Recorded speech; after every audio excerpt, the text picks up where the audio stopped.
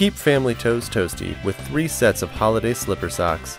Give them out at the beginning of the season to enjoy all winter long. The non skid bottoms prevent slipping and sliding. Get your cozy, festive family footwear today. One size fits most.